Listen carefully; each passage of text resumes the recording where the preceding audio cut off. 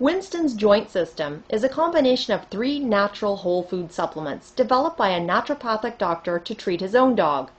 Within the first 30 days of using Winston's Joint System, dogs often show noticeable and remarkable improvement. And unlike drug treatment, there are no side effects or dosage problems. If your dog suffers from arthritis or joint pain, give Winston's Joint System a try. It's the healthy system that's helped heal thousands of dogs.